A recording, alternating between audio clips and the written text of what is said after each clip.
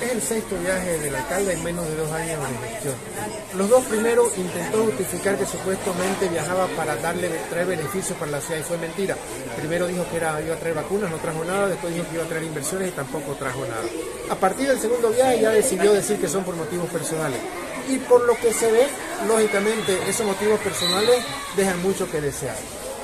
Yo no sé si lo que se ha visto ahora es de este viaje o de un viaje anterior, pero lo que está claro es que él viaja a otra cosa. No viaja a traer beneficios o a traer soluciones para Santa Cruz de la Sierra.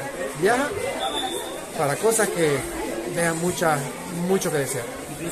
Johnny ha demostrado que no está del lado de la gente y las reivindicaciones regionales. Así lo hizo con el tema del censo, así lo hizo en los cabildos, así lo hizo en la marcha reciente, o se inventa viajes, o está enfermo, no sé qué más. Él, solamente está en función a su agenda personal y de intereses personales. Y lógicamente eso se da cuenta la gente que, que ve estas actitudes. Ya no es novedad. Amigos, muy buenas noches. Oiga, me he enterado de que allá hay unos, esos mismos de siempre, esos concejales ociosos, que andan hablando que yo estoy en otro lado, que estoy en yate, disfrutando. Mm, le pelaron, le pelaron. Cada vez mienten y mienten estos chicos la verdad es que da pena tener autoridades de esta calaña, realmente da pena. Yo estoy acá en Miami, vine por unos asuntos personales, otros asuntos de negocio y también vine a hacer un chequeito médico porque siempre es bueno.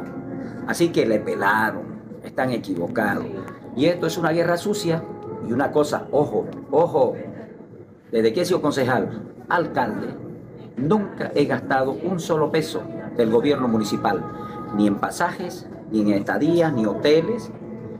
En Santa Cruz tengo mis dos vagonetas que no son de la alcaldía, son particulares.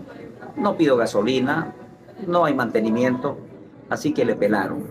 Pero pónganle ojo, querido pueblo. Pregunte cuánto han gastado estos concejales que hoy están difamándome en viajes a muchos eventos disque de beneficio a quién se han tirado miles y miles de dólares. Eso más bien, ¿por qué no aclaran al pueblo? Le pelaron otra vez.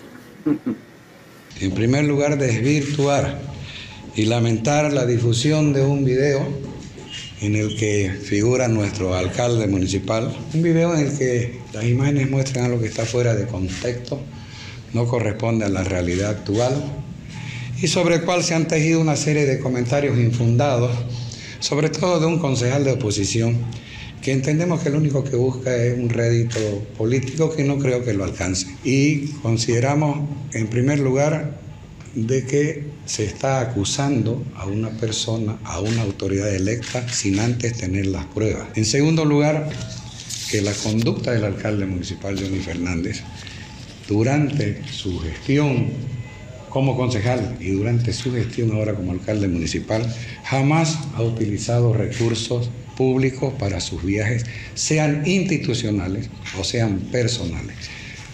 Yo les muestro a ustedes los tickets emitidos por las diferentes eh, agencias de viaje, donde todos los pasajes emitidos están en nombre de Johnny Fernández.